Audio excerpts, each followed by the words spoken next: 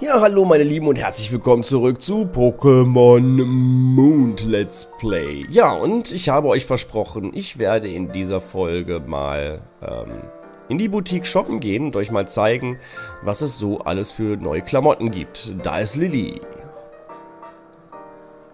Man kann sich nämlich umziehen. Hallo Gameblamer, dürfte ich dich etwas fragen? Suchst du dir deine Kleidung eigentlich selbst aus? Äh, na klar. Natürlich, wie wohl die meisten anderen Leute auch, nicht wahr? Ich trage immer nur die Kleidung, die meine Mutter für mich ausgesucht hat. Ähm, übrigens, was Blödsinn ist, sie wohnt beim Professor. Ne? Sie wohnt beim Professor und ist obdachlos. Und dann sagt sie plötzlich, ich trage immer nur die Kleidung, die meine Mutter für mich ausgesucht hat. Riesenfehler hier im Pokémon Go. Äh, Pokémon Go ich schon, im Pokémon Mond. Riesenfehler. Ich hoffe, er ist euch aufgefallen.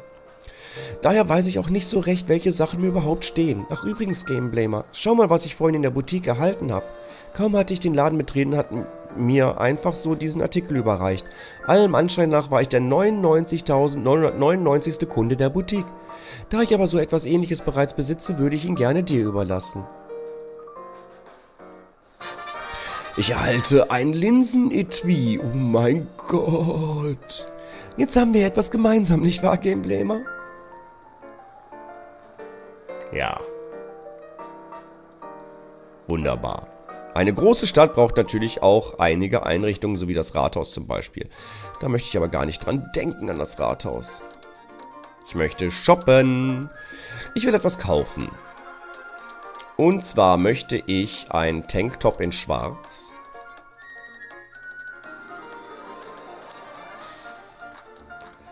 Ich möchte eine Dreiviertelhose in schwarz, obwohl, oder haben sie noch andere? Nee, eine Dreiviertelhose in schwarz. Ich bin so ein Schwarztyp. Ich trage gerne schwarz, wie man hier jetzt gerade auch wieder sieht. Und Knöchelsocken in schwarz. So, weitere Sachen gibt es hier leider noch nicht. Doch, Mützen. Filzhut. Den würde ich mir sogar auch noch holen. Bam.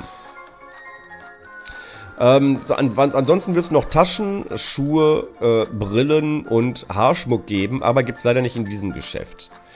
Meine Neuanschaffung möchte ich natürlich auch direkt anziehen. Vielen Dank, bitteschön. So, sieht doch jetzt schon viel smarter aus, oder? Ich finde schon. Ja, egal, was ihr jagt. So, rennen wir mal zu unserem nächsten Ziel. Oh. Vielleicht an der Straße lang.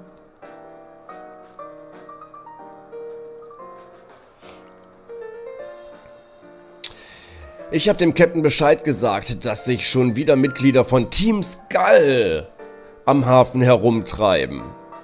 Wie heißt es so schön, Müßiggang ist aller Laster Anfang. Für Team Skull gibt es das ganz Besonderes. Diese Typen sind echt Schurken. Sie fangen ohne Vorwarnung Streit an und versuchen, die Pokémon anderer zu stehlen. Auf die Pokémon in der Prüfungsstätte hatten sie es auch abgesehen, vermutlich um sie zu verkaufen. Sie schaffen es zwar nicht einzu sich einzuschleichen, sie schaffen es zwar sich einzuschleichen, aber der Rest des Plans geht immer in die Hose. In die Hose? Team Skull treibt sich in der Hafengegend herum. Ich bin schockiert. Brrst. Ja, ich lese auch das Rotom äh, vor. So, was ist hier los? Ach ja, stimmt. Er wollte mir ja zeigen, wo es was Leckeres zu essen gibt. Hey, Gameblamer! Das ist der Laden, den ich dir zeigen wollte. Hier gibt's was super Leckeres. Soll dein Team erfolgreich sein, dann kauf Masladas ein. Nur ein Häppchen davon und ich lieb jedes Pokémon. Wenn dir etwas an deinen Pokémon liegt, musst du ihnen einfach ein paar Masladas kaufen. Vielleicht gehe ich als nächstes zum Hafen und brülle alles ins Meer hinaus, was mir auf dem Herzen liegt. Opi, ich werde dich besiegen, selbst wenn du alles gibst. Äh, sowas in der Richtung. Oder, ich bin der König der Welt. Hm. Willkommen im Masada-Laden, der Wiege des guten Geschmacks von Alola. Welchen Masada darf ich dir anbieten? Den Zucker Maslada. Und welchen Pokémon möchte ich das geben? Natürlich meinem Lendenbrand. Lendenbrand. Dann nimm bitte Platz, ich bringe dir gleich einen frischen frittierten Malasada rüber. Uh, ah, du fütterst dein Flamiau mit dem Zucker Malasada. Flamiau zerdrückt den Zucker Malasada. Krampf, Mampf, Mampf, Krampf. Flamiau ist zutraulicher geworden. Das freut mich doch. Oh, da hinten ist ein Quapuzzi. Das ist schon kein Quapsel mehr. Das sieht man an den, an den Augen, die oben drauf sind. Pokémon-Fachwissen vom Feinsten hier. Dim, dim, dim, dim, dim, dim. Dim, dim, dim. Und da sind wir am Hafen. Hi. Hallöchen, ich bin Captain Lima. Jo, jo, jo, Team Skulls Art zu grüßen ist nicht zu grüßen.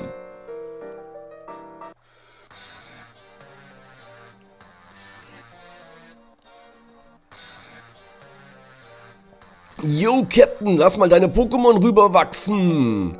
An dich kenne ich doch von, dich von der, ah, dich kenne ich doch von der Trainerschule. Du bist also gleich nach Haululi gekommen. Äh, Yo, du aufgeblasener Typ, was fällt dir ein, uns zu ignorieren? Den machen wir platt, dem wird richtig fett der Schädel brummen. Meine Güte. Es ist Diebstahl, die Pokémon anderer Leute an sich zu nehmen. Gameplay mal richtig? Dürfte ich dich bitten, den Herrn da zu übernehmen? Ich kümmere mich um diesen hier. Hm, sieht nicht schwierig aus. Ich werde jetzt zeigen, was für ein Pro ich bin Umgang, im Umgang mit Pokémon bin. Check this out. Hm. Große Klappe, nichts dahinter ist ja meistens der Fall, ne? Team Skull Rüpel fordert dich heraus. Tja, lächerlich.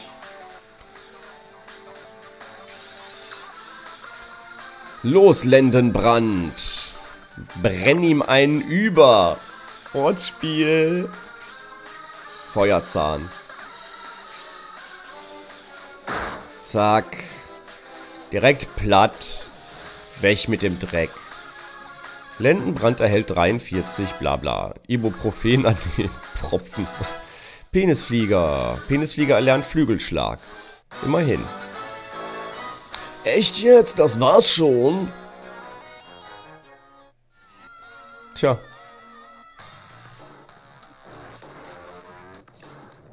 Du hast mir gezeigt, was für ein Pro du im Umgang mit Pokémon bist. Hey Bro, tun wir so, als wäre das nie passiert. Lass uns lieber eine Biege machen. Elimas blöde Pokémon brauchen wir eh nicht.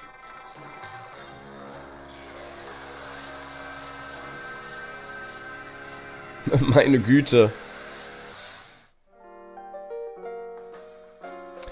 Das hast du gut gemacht und deine Pokémon natürlich auch. Als Zeichen meines Dankes werde ich sie für dich heilen. Dum, dum, dum. Als ich dich und deine Pokémon, dein Pokémon-Team in der Trainerschule gesehen habe, wurde mir mein Interesse geweckt. Erst bringt dich Professor Kukui persönlich dorthin und dann gewinnst du auch noch problemlos gegen die Direktorin. Jetzt musst du mir nur noch beweisen, dass du geeignet bist, dich meiner Prüfung zu stellen. Was sagst du? Fühlst du dich mir gewachsen? Ja. Klar. Dann präsentiere ich dir voller Stolz die Pokémon von Captain Elima.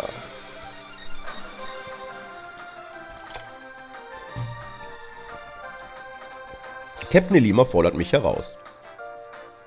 Das wird doch ein Zuckerschlecken. Magunior. Da lache ich doch drüber.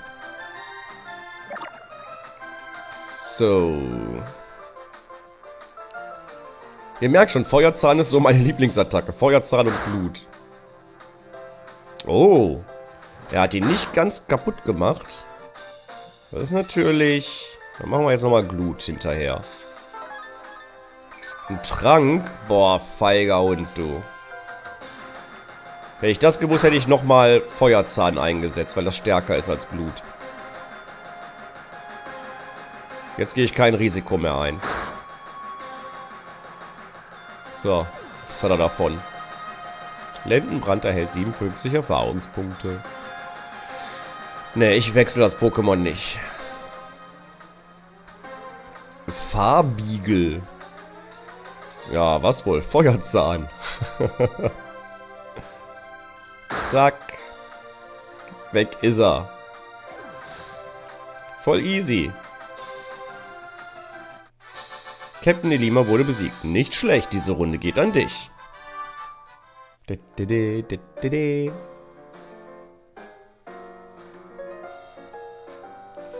Du bist, nein, du und deine Pokémon seid ein sehr interessantes Team.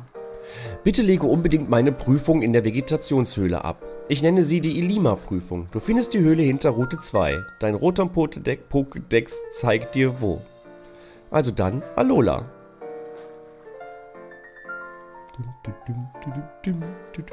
Machen wir uns auf den Weg zu Route 2.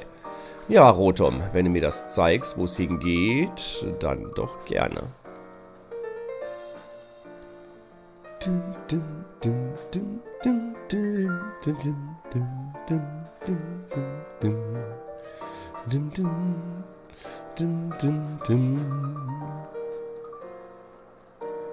Gameblamer.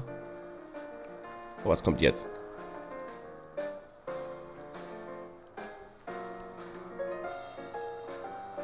Gut, dass ich dich treffe. Weißt du, ich fühle mich oft hilflos. Ich verlaufe mich häufig und kann nicht mal Kleidung alleine kaufen.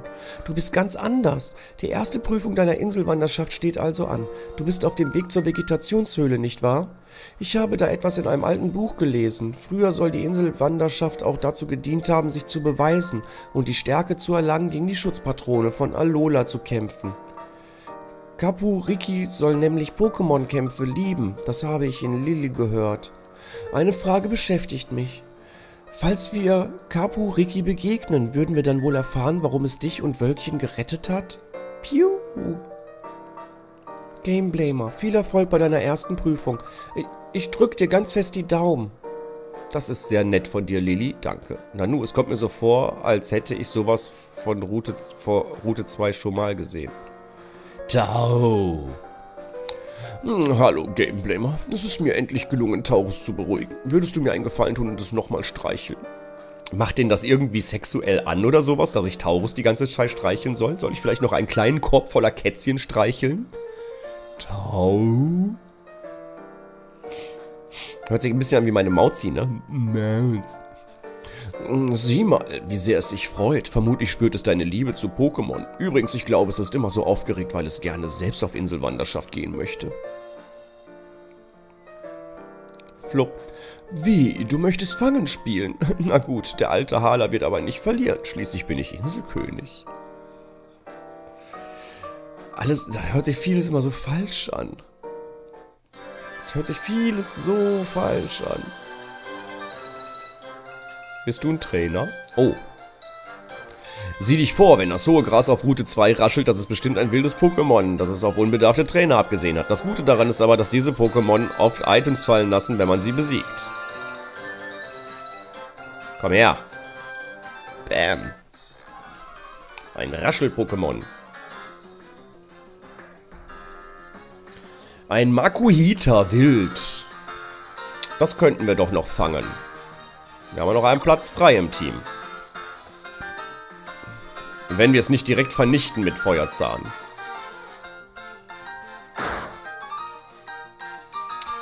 Ah, jetzt noch eine etwas schwächere Attacke.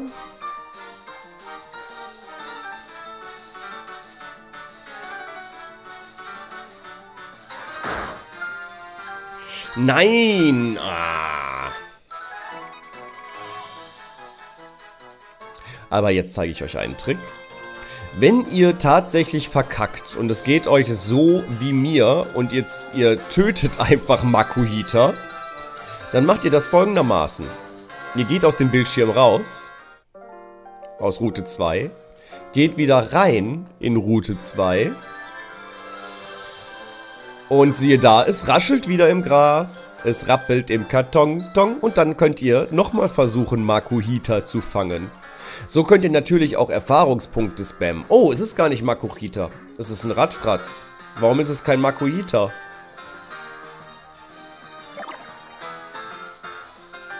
Das ist aber jetzt seltsam. Machen wir mal Feuerzahn, den können wir ja... Obwohl, einen Radfratz haben wir auch noch nicht, ne? War eigentlich jetzt blöd. War eigentlich jetzt blöd, den so wegzuballern. Naja, aber es sind nicht gerade, äh, sind nicht gerade die schwächsten Pokémon, die da auftauchen und es sind halt Pokémon, die wirklich Items oft fallen lassen. Wie zum Beispiel hier, jetzt haben wir eine Siedelbeere gekriegt. Ach, scheiße.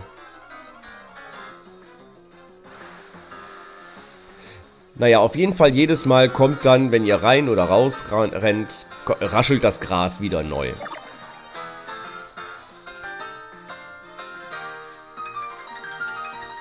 So, Feuerzahn.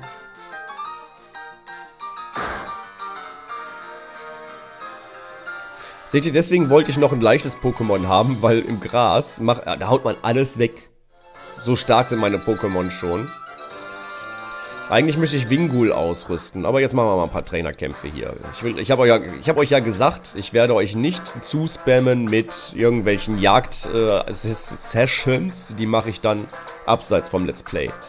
Dann besteht eine nächste Prüfung darin, mich in all meiner Schönheit zu besiegen. Ah. Jemand in Schönheit zu besiegen, dürfte mir etwas schwerer fallen. Was ist das für eine blöde Lache von mir jetzt? Naja. So. Schlecker. Lecker Schlecker. Bam. Weg ist Nebulak. Tja, das war wohl nix, wa?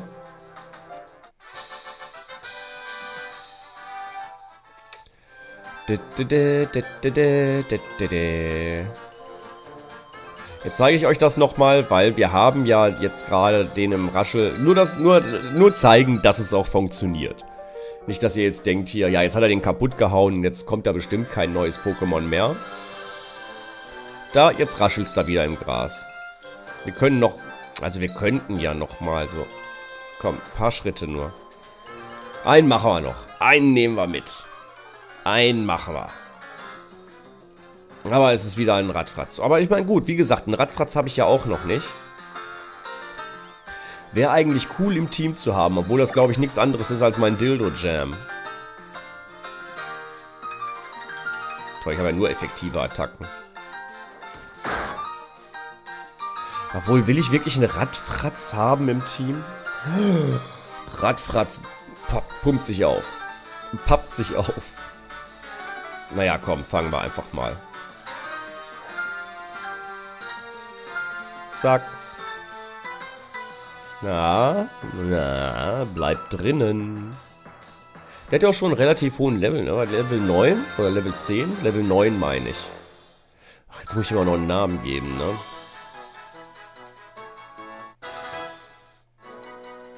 Ähm. Schnüffler. Nee, bekannte Attacken behalten. Das hört sich gar nicht interessant an. Ah, jetzt muss ich Radfratzen Namen geben.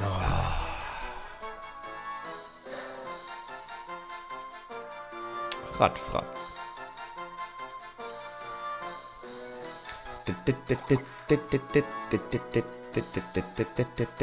Ja, wie nennen wir Radfratz? Ich habe da schon einen Namen im Kopf.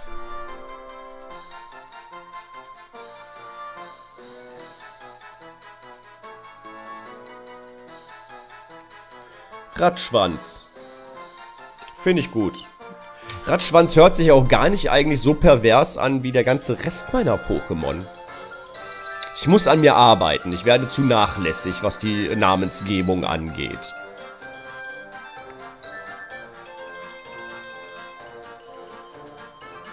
Einfach ums Gras rum. Oh, Friedhof.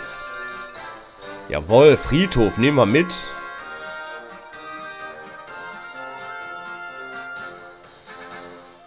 Ah, ja. Ja, man muss ja immer die Ecken abgehen, weil da liegen dann meistens... Ui! Weil da liegen dann nämlich meistens die Pokebälle rum. Ein Tranfugil, habe ich ja noch nie gesehen. Ist auf jeden Fall Geist. Muss ich auf jeden Fall so eine Geistfähigkeit. Aber die ist dann schon wieder zu stark wahrscheinlich. Nein? Ui. Hm. Versuchen wir es mal. Versuchen wir direkt mit dem Superball auch. Da will ich kein Risiko eingehen. So ein Geist-Pokémon wäre schon nicht schlecht im Team. Nein! Fuck. Ja, egal was ich jetzt... Ich kann ja damit eigentlich nur Schlecker als Angriff und dann ist das Viech tot. Plapp. Weg. Ja, schade drum. Schade drum. Hätte ich gerne im Team gehabt, wenn ich ehrlich bin. Also wirklich ehrlich. So ganz ehrlich. Voll ehrlich so. Kein Pokéball in der Ecke. Ah, da. Haha. TM 100. Vertrauenssache. Seht ihr? Ich habe doch einen Riecher für sowas. Ein Trainerkampf. Jawoll. Hier liegen meine Pokémon begraben. Sie waren wie eine Familie für mich. Aber anstatt Trübsal zu blasen, möchte ich ihnen einen heiteren Anblick. Bla bla. bla, bla. Oh mein Gott, Gentleman Winfried. Wie der guckt, der guckt schon wie so ein pädophiler Opa. Es ist so ein... Komm, ich hab hier was zum Streicheln für dich. Steig in mein Büsslein. Ja, komm, Feuerzangenbowle hier. Zack. Oh, nicht ganz weg. In solchen Momenten, Momenten wünsche ich mir, dass ich die Pokémon von Trainern fangen kann.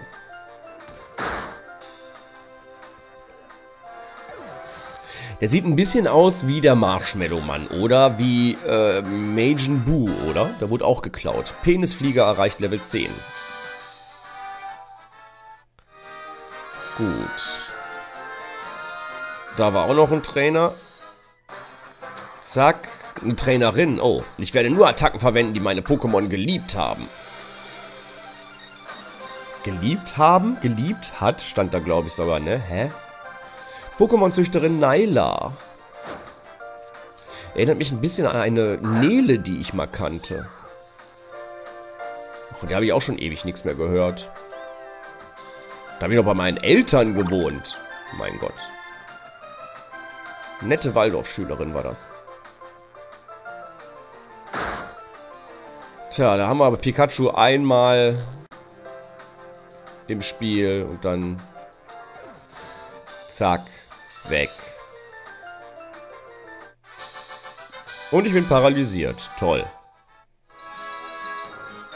Das ist ja echt klasse. Dann darf ich jetzt erstmal in meinen Beutel gucken, ob ich Anti-Paralyse-Zeugs habe. Paraheiler habe ich tatsächlich. Wo habe ich den denn her? Ich kann auch mal einen Trank einsetzen für Radfratz. Aber Radschwanz. Ist aber eigentlich äh, Rausschmiss, glaube ich.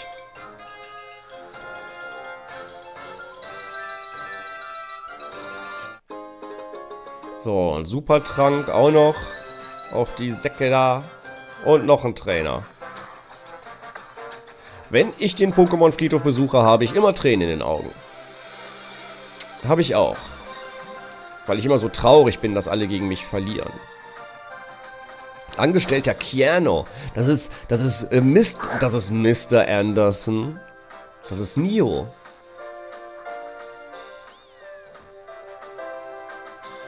Keanu Reeves. Und Bam. Ach, das ist so schön. Das ist so schön. Pfropfen erreicht Level 14. Tja. Bin ich wohl der Auserwählte. So, ist hier noch was? Ja, noch ein Ball. Riesenpilz. Hm. So. Ja, jetzt müsste ich eigentlich... Oh, da ist auch noch ein Ball. Paraheiler. Noch ein Paraheiler. Das ist sehr gut. So. Ja, damit haben wir den Friedhof auch gecleared. Gecleared. Jetzt müssen wir noch gucken, dass wir da irgendwie an den Pokéball rankommen. Dürfte aber eigentlich kein Problem sein. Hier lang. Uha, durch Gras. So. Heilball. Okay. Wäre ich fast hier nochmal runtergefallen, ohne den Ball einzusammeln. Und der hat nur gequatscht.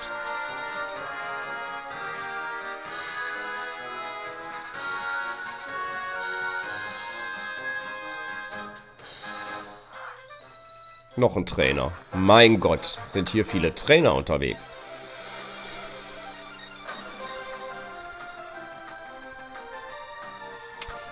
Oh, mein Arm juckt. Vorschüler Cedric setzt Habitak ein. Ah, das dürfte ja wohl kein Problem werden. Ein Flug-Pokémon. Feuerzahn. Fast aufgebraucht schon. Der wehrt die Attacke ab. Was ist da los? Was ist denn da jetzt falsch gelaufen? Jetzt aber. Zack. Weg. Dafür, dass du abgewehrt hast. Pipetto erreicht Level 14. Ratschwanz erreicht Level 10. Ratschwanz versucht Biss zu erlernen. Biss ist immer gut. Äh, dafür kann der Routenschlag vergessen. Routenschlag ist sowas von sinnlos. In meinen Augen.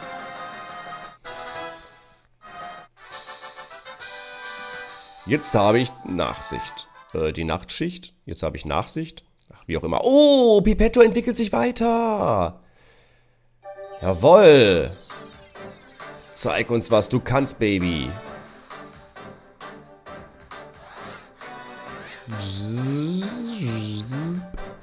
Schöne neue Animation für Weiterentwicklung. Mein Pipetto wurde zu einem Trompek.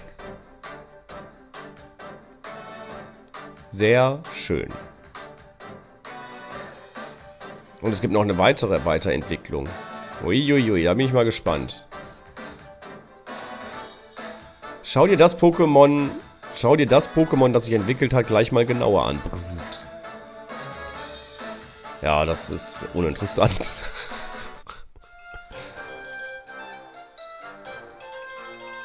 Ich bin manchmal so herrlich desinteressiert. So, was ist hier jetzt los? Boto! Boto geklammert sich an dir fest und lässt sich nicht mehr los. Anscheinend möchte, möchte es dich zu dem Bärenfeld führen.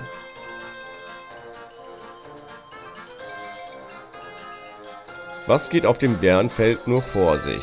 ob es Probleme gibt. Schon wieder Team Skull. Bären sind zwar voll lame, aber Team Skull wird sie trotzdem einheimsen. Yo, geht das in deinen Schädel rein, Alter? Die Bären Sine jetzt unsere. Keine Fragier, yo. Ich trete meine Bären liebend gern an Pokémon ab, aber auf keinen Fall an Typen wie euch. Mein Homie und ich sind also weniger wert als Pokémon. Willst du uns dissen oder was? Was glotzt so, hä? Hä? Du schon wieder? Willst du dich schon wieder mit uns anlegen? Am Hafen haben's wir vielleicht vergeigt, aber jetzt machen wir ernst, Bro. Danke, dass du mir helfen willst, aber Team Skull sind einfach nur halbstarke Aufschneider mit viel zu viel Freizeit. Große Klappe und nichts dahinter. Kümmere dich nicht um sie und setze deine Inselwanderschaft fort. Hey, was fällt dir ein, Alter? Red nicht über uns, als wären wir nicht hier, klar? Willst etwa abbauen? Wir machen dich platt und schnappen uns auch deine Pokémon. Dir werde ich zeigen, was für ein Dickschädel ich sein kann. Schau genau hin.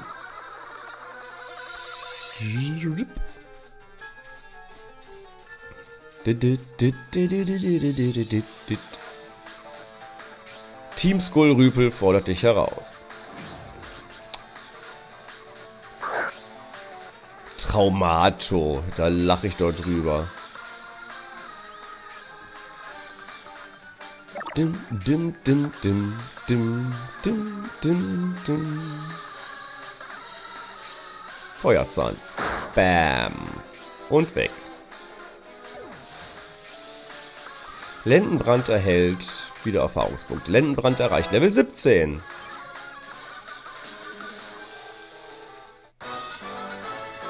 Jo, es setzt mich ganz schön an, dass man mich so einfach dissen kann.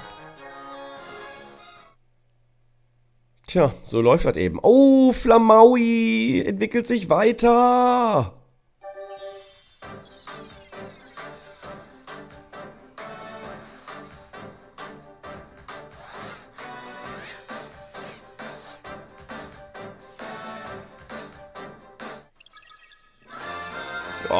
Geil. Mizunda. Boah, sieht richtig geil aus.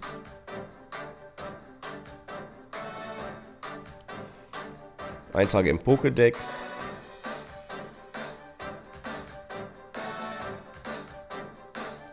Sehr geil. Äh, ja, ist immer noch Feuer.